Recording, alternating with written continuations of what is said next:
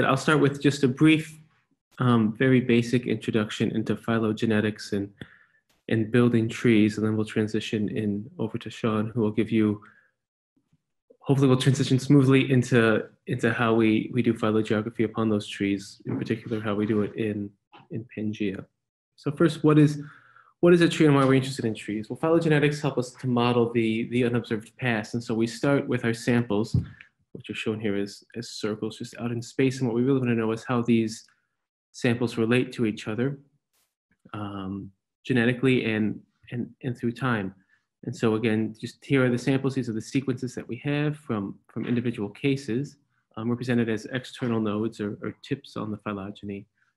Um, these nodes here are internal nodes. They're common ancestors um, of the samples. And so this one here you can see represents a common ancestor of these two blue samples up here, whereas this one represents a common ancestor of these two green. And so we would say that the two blue samples are more closely related to each other than they are to any of the other samples because they have a common ancestor. They're, they they share a common ancestor here before they share one um, with all of the other samples in the tree.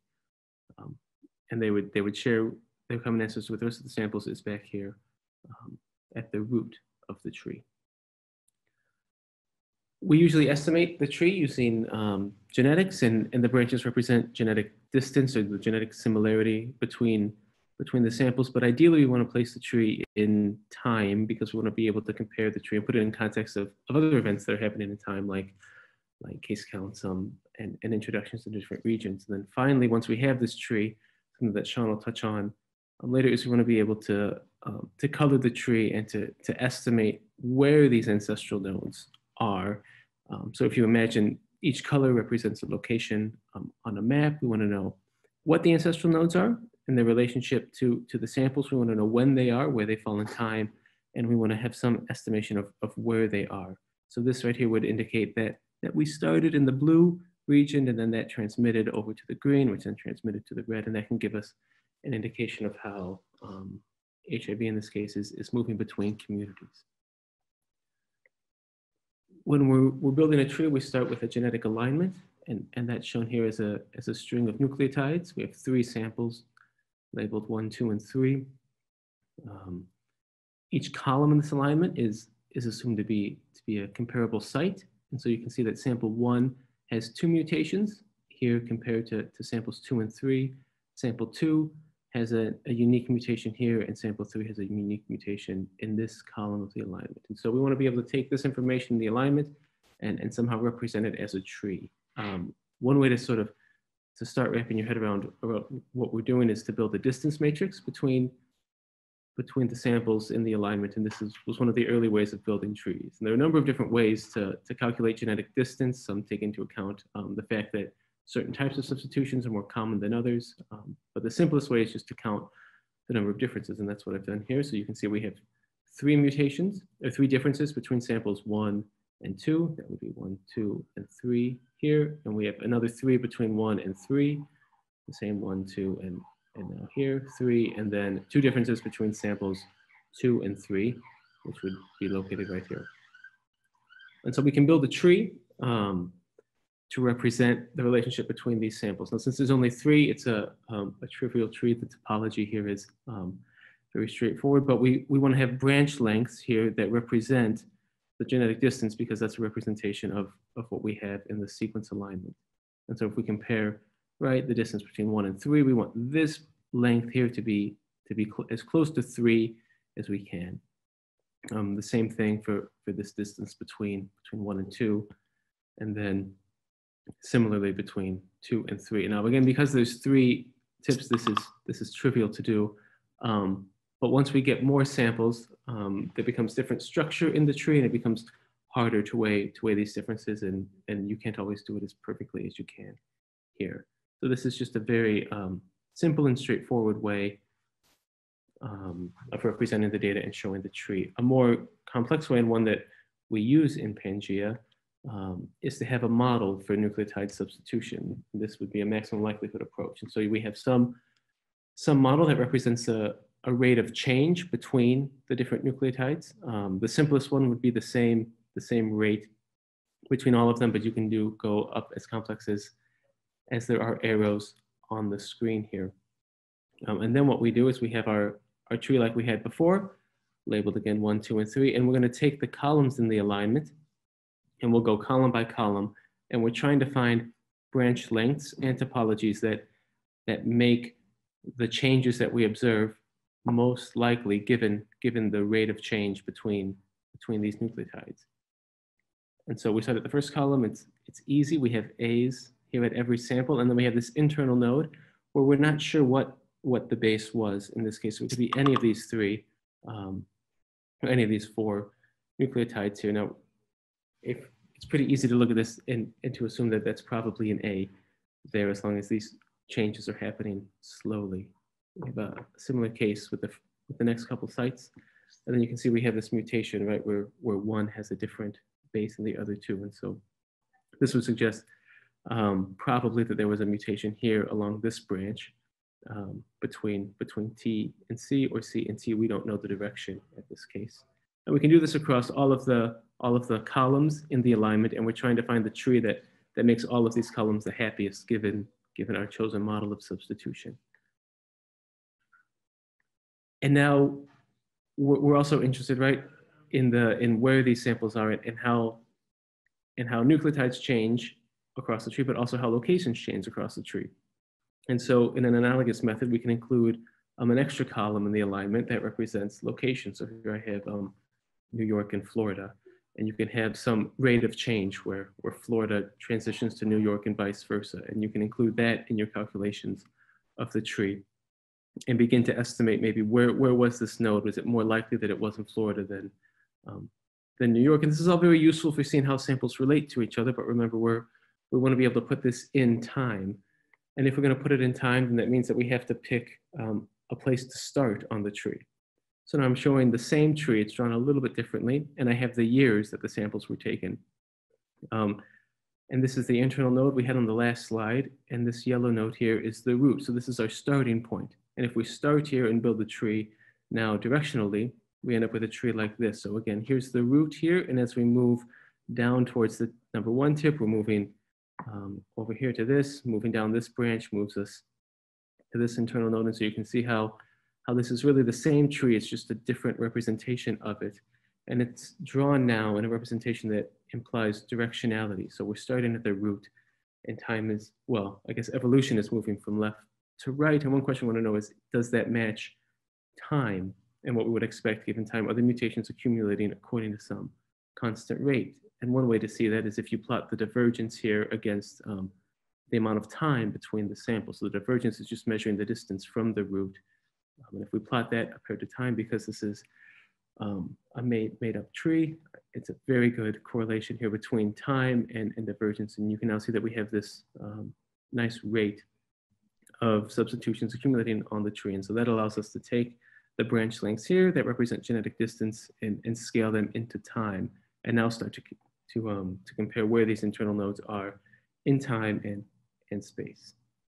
So, so briefly what I've done over here is, is building a time tree through a maximum likelihood approach where we start with an, an alignment. We have some substitution model on the genetic data as well as the location data.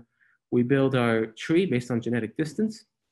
Um, and then we can find the route that best allows us to scale that tree into time and end up with some representation of how, how the virus has been moving between communities. One drawback on this method is that building these large trees is difficult. It's difficult to, to find the, the best tree, and there's a lot of uncertainty in the tree. There are a number of trees often that are just as good um, as the best tree. And so one way to incorporate in that into our analysis is to use a Bayesian approach. Um, and this is something Sean will touch on as well. And in this method, we take our sequence data and we take our genetic data and we um, use them both at the same time to estimate a tree in, in beast. And what we end up with is a collection of trees, reasonable trees that reasonably represent um, the data that we put in. And then we look at summary statistics across those trees um, to look for trends at um, at where introductions are coming from and when they're coming from, um, so forth.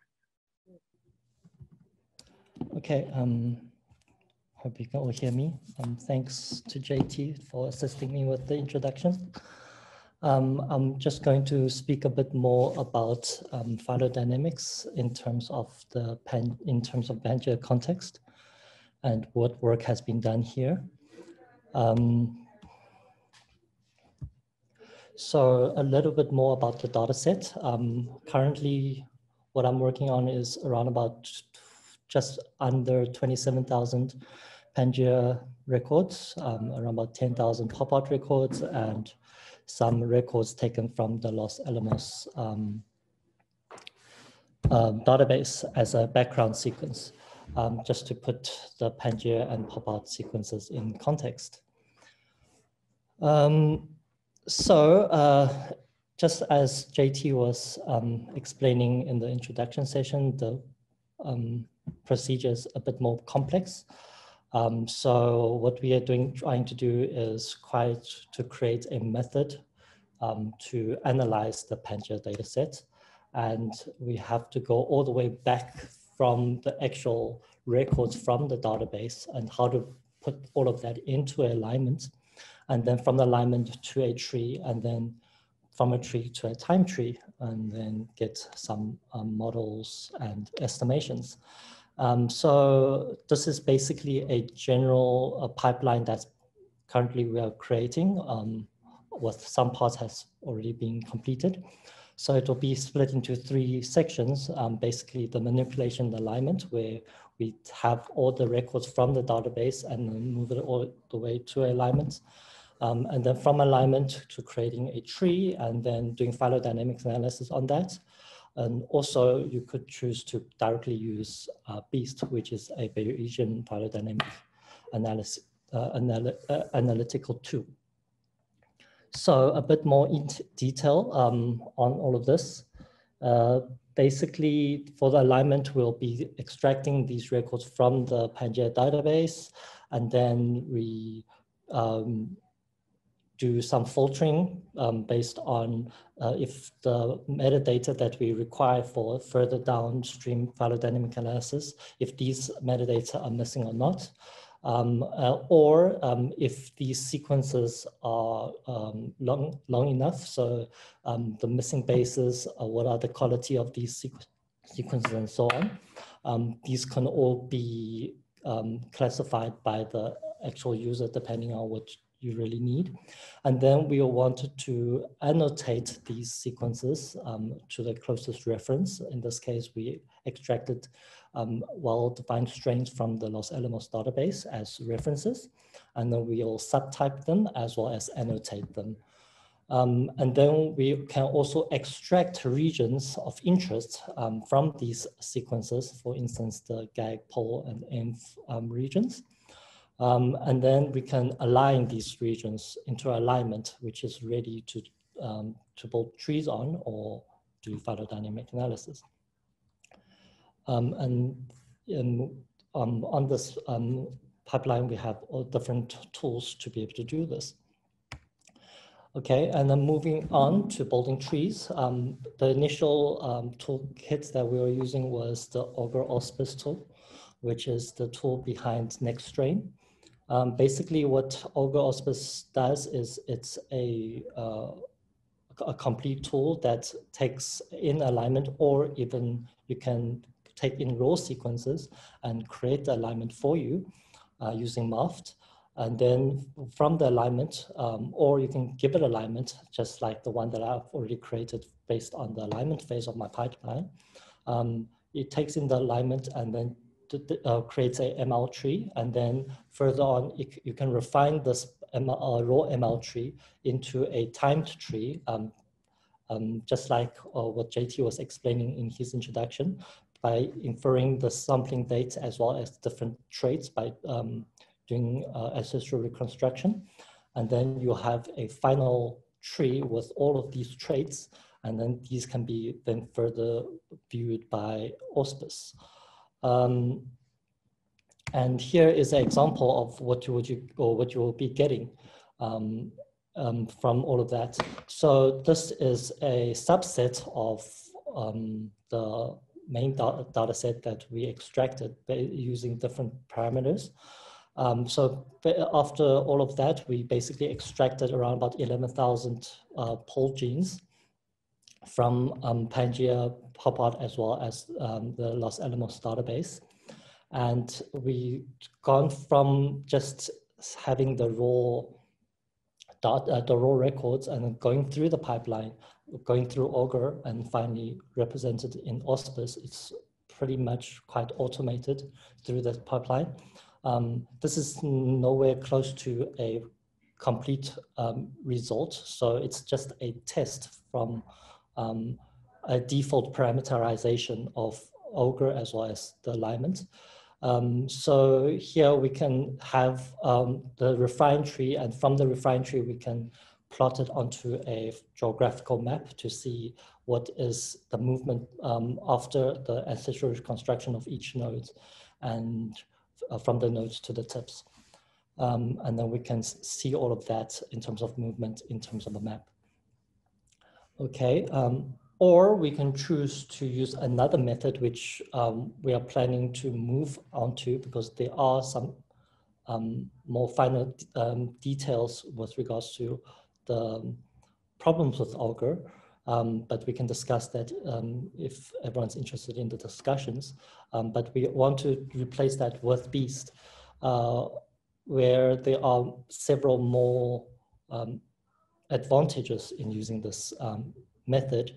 Um, uh, but mainly, um, the main issue with Beast at the moment, where we are not going directly to it, is of course there is computational issues as well as other complex um, um model testing and all of that in terms of using this method on large data sets, uh, which we have here at Pangea. Um, and we are currently testing um, our workaround method initially where Beast was uh, um, in terms of computational time, Beast was okay in analyzing around about 6,000 sequences, but adding more to that, it becomes more computation intensive. So uh, we are working on a more of a bolt around way um, in creating a beast pipeline to analyze large data sets where we are using currently multi-tree beast, um, which I will give more in detail results um, next week. Um, but um, so basically we'll be collapsing the um, the data set into smaller clusters and then um, running beast in parallel on each of these clusters using one uh, coalescent model and um, one uh, fix, uh, one clock rate um, for the, all the data sets. Um, the advantage of, of this, uh, instead of only computational um, efficiency, is also that we are able to also zoom into individual clusters to have better tree resolution and tree accuracy. Um, so, and more on Beast. Um, Beast is the, another advantage of Beast is that we were able, uh, you're able to have more flexibility in choosing different types of models in estimating um, or, or, doing the phylogenetic analysis on these trees. Um, and uh, we, in this, um, we can see here that we are inferring the, um, um, the lo location trait in this case, um, based on different uh, geographical location. And then by using ancestral construction, we can see that from one area to another. We can also estimate the, uh, the rates from one location to another. And then using these rate matrices, we can then estimate, um, for instance, um, sources and sinks and migration and um, these um, uh, can test these kind of hypotheses. Um, so um, another advantage is this, well, basically Bayesian um, methods allows us to have a posterior um, distribution to um, have a better estimation of or better look at how well you are influencing these trees um, by having a more of a statistical, a statistical measure in terms of a posterior distribution. And um, on the red dots, we know that these are tips that we got. So we have a posterior of one, they're absolute. And then we have different colors on the tips, I mean, on the, uh, on the, um, on the branches and the nodes to have a better representation of how confident you are with regards to these um, phylogenetic trees. So basically, that is a basic run through of what the current Pangea pipeline um, currently entails and what we are trying to build um, in trying to analyze the whole Pangea data set. And from all of this, um, we'll be able to analyze Pangea data as a whole, and then um, using that uh, results to make more inferences on what um, initially are the aims of um, Pangea. So um, I would like to bring that uh, to an end to my session, and um, I'm happy to, to take in any questions.